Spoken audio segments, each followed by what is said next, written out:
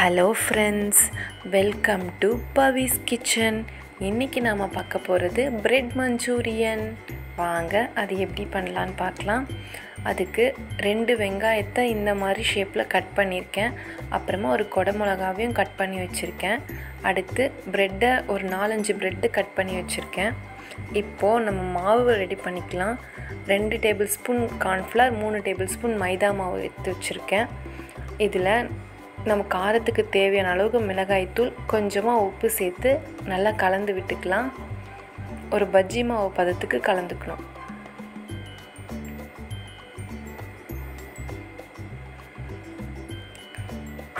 ரொம்ப தண்ணி சேர்த்துற வேண்டாம்.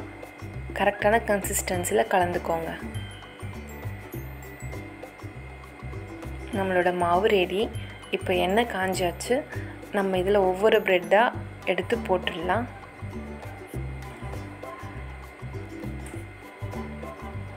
இந்த மாதிரி எல்லாத்தையும் போட்டு எடுத்துக்கலாம்.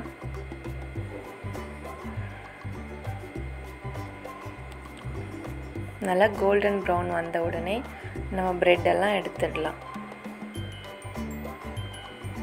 நம்மளோட ப்ரெட் எல்லாம் ரெடி ஆயாச்சு. அடுத்து நம்ம கிரேவி ஸ்டார்ட் பண்ணிடலாம். இப்போ ஒரு பேனில் எண்ணெய் சேர்த்து கட் பண்ணி வச்சுருக்க பூண்டு சேர்த்துக்கலாம்.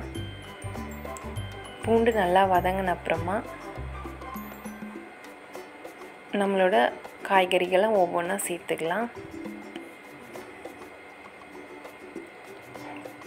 இப்போது வெங்காயம் சேர்த்துக்கலாம்.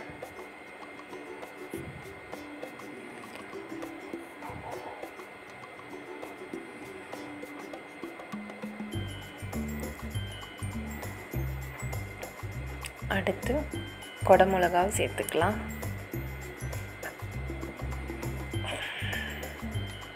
நல்லா கலந்து விட்டுருங்க. கொஞ்சமாக உப்பு. நம்ம இதில் சாஸ்லாம் சேர்க்க போகிறோம் அதனால் கொஞ்சமாக உப்பு போட்டுக்கோங்க. ஏன்னா சாஸ்லேயே ஆல்ரெடி உப்பு இருக்கும். வேணும்னா நம்ம லாஸ்ட்டில் டேஸ்ட் பார்த்துட்டு சேர்த்துக்கலாம்.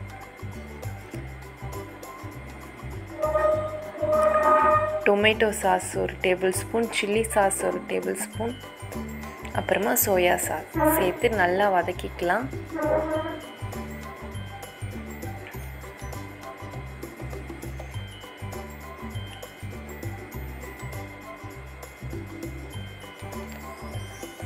கார்ன்ஃப்ளவர் மாவு கொஞ்சம் கரைச்சி சேர்த்துருக்கேன்.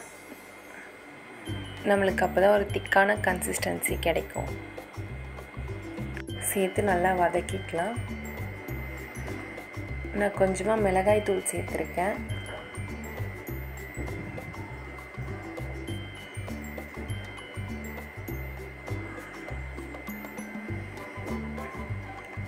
அவ்வளோதான் நம்ம இப்போ ப்ரெட்டை சேர்த்து நல்லா பரட்டிக்கலாம்.